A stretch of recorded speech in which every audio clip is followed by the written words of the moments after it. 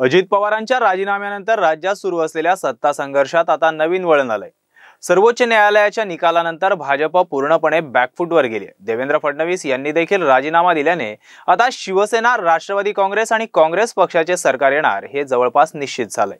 या नव्या सरकारचे नेतृत्व उद्धव ठाकरे यांच्याकडे असेल. त्यामुळे महाराष्ट्रात आता उद्धव सरकार येणार हे जवळपास निश्चित झालंय. राज्याच्या राजकारणात अत्यंत संयमी नेता अशी उद्धव ठाकरेंची प्रतिमा राहिली. शिवसेनेसारख्या आक्रमक संघटनेचे त्यांनी अत्यंत संयमी नेतृत्व केले. स्वतंत्र निवडणूक लढवून असो की युतीमध्ये त्यांनी शिवसेनेला सत्तेच्या जवळ पोहोचवलंय. गेले महिनाभर भाजपबरोबर निकराची लढाई लढताना त्यांनी अत्यंत आक्रमक तितक्याच संयमी नेतृत्वाची झलक दाखवली.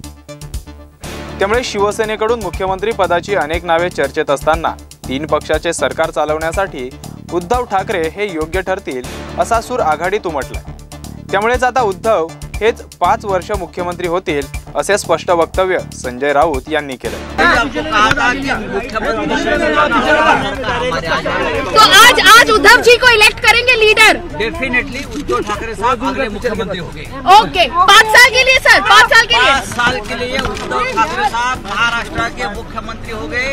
Supported by Nationalist Congress Party and Bharatiya Rashtriya Congress Thackeray कुटुंबातील सदस्य मुख्यमंत्री होणार हे राष्ट्रवादीचे अध्यक्ष शरद पवार यांनी निश्चित केले होते.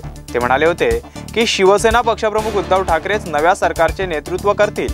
याविषयी आमच्या सर्वांचे एकमत झाले आजवर राजकारणात रिमोट कंट्रोलची भूमिका निभावणाऱ्या ठाकरे घराण्याच्या हाती आता राज्याचा कारभार येणार असल्याचे स्पष्ट झाले तेवीस नोव्हेंबर रोजी अजित पवारांच्या पाठिंब्यावर देवेंद्र फडणवीस यांनी मुख्यमंत्री पदाची शपथ घेतली होती.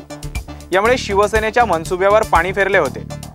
देवेंद्र फडणवीसांनी बहुमत नसताना मुख्यमंत्री पदाची शपथ घेण्यावर शिवसेना काँग्रेस राष्ट्रवादीने आक्षेप घेत सर्वोच्च न्यायालयात धाव घेतली होती. सर्वोच्च न्यायालयाने महाविकास आघाडीने दाखल केलेल्या याचिकेवर सुनावणी करत चोवीस तासात बहुमत चाचणी घेण्याचे आदेश दिले आहेत त्यानंतर अजितदादांनी राजीनामा देण्याचा निर्णय घेतल्यानंतर मुख्यमंत्र्यांनी देखील राजीनामा देण्याचा निर्णय घेतल्याने आता महाराष्ट्रात उद्धव सरकार अस्तित्वात येणार हे नक्की झालंय. Bureau report Maharashtra news twenty four.